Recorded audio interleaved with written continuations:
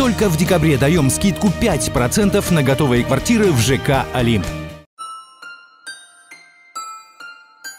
МС Стекольный на один вечер стал настоящим домом моды. На подиум вышли модели элегантного возраста. Какие новые тренды они представили на этот раз, посмотрела наша съемочная группа.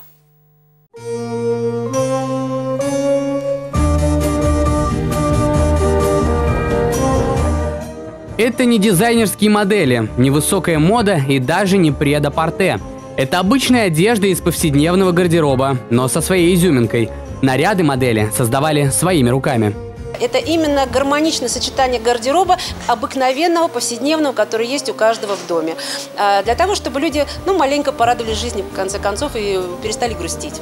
Одно дело создание образа, куда сложнее уверенно двигаться по подиуму.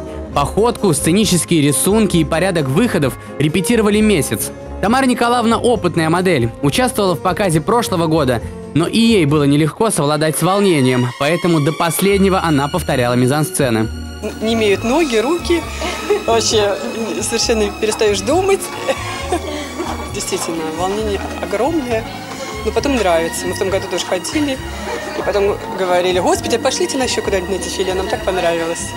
Организатор модного дефиле – комплексный центр соцобслуживания. Сотрудники центра уже планируют новый конкурс для моделей «Госпожа. Прекрасный возраст». Он пройдет в 2018 году.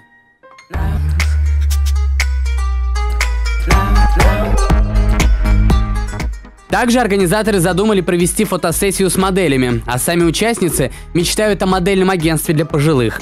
Кстати, самая возрастная в мире модель – 86-летняя американка Кармен Арифайс. И кто знает, может когда-нибудь именно клинские дамы смогли бы составить ей конкуренцию. Николай Ревенко, Андрей Королев, Юлия Левицкая. Новости дня.